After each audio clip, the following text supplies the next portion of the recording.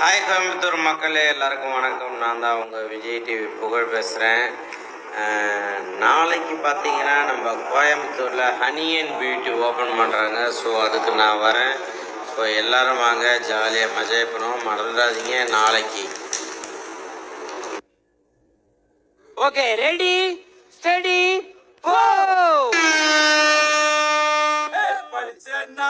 கிட்ட